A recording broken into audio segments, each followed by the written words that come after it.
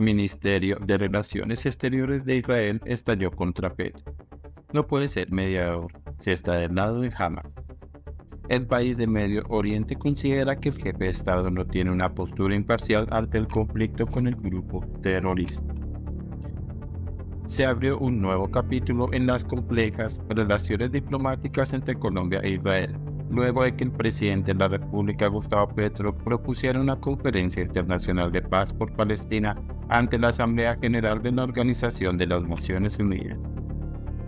Durante una intervención en el evento Salvemos la Selva, Conservar Paga, que se llevó a cabo en Cartagena del Cheira, Caquetá, el jefe de Estado se refirió a los puntos que expondrá ante los líderes mundiales entre el 20 y el 26 de septiembre de 2024. Entre ellos, el primer mandatario destacó al conflicto árabe-israelí. Pediré que dejen de matar niños en Gaza. Sin embargo, las declaraciones del presidente Petro no gustaron entre los altos mandos israelíes. Así lo hizo saber Matalla Cohen, director adjunto para América y el Caribe del Ministerio de Relaciones Exteriores de Israel, que afirmó que el presidente Petro no puede ser mediador si está del lado de Hamas. Asimismo aseguró que no se puede tener una conversación de paz si está presente el jefe de Estado colombiano, ya que en múltiples ocasiones ha declarado su apoyo a Palestina. No es imparcial.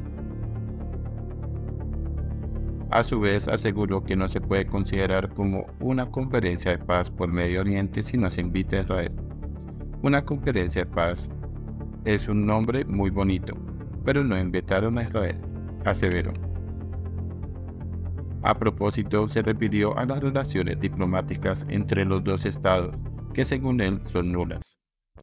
Las relaciones entre países se crean con embajadas y embajadores, pero cuando el presidente ordena a un embajador salir del país, no se puede hacer un diálogo.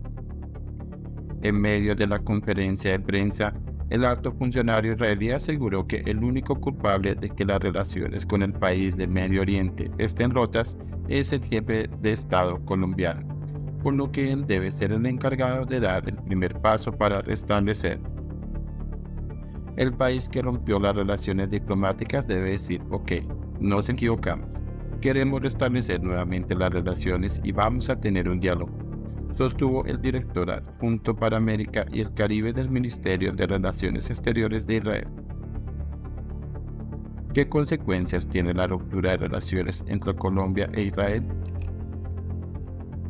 Mientras continúa la tensión entre ambos estados, es necesario recordar qué consecuencias la ruptura de relaciones entre Israel y Colombia. En primer lugar, a nivel económico significó un fuerte golpe para el país suramericano, ya que dejarán de ingresar 350 millones de dólares en exportaciones de carbón e inversión del gobierno liderado por el primer ministro Benjamin Netanyahu. Gracias al Tratado de Libre Comercio TLC firmado en 2020, los ingresos del país por el intercambio de mercancías con Israel aumentó en más del 65%.